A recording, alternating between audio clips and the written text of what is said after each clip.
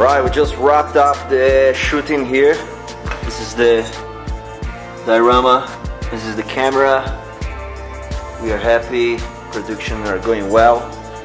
That's it.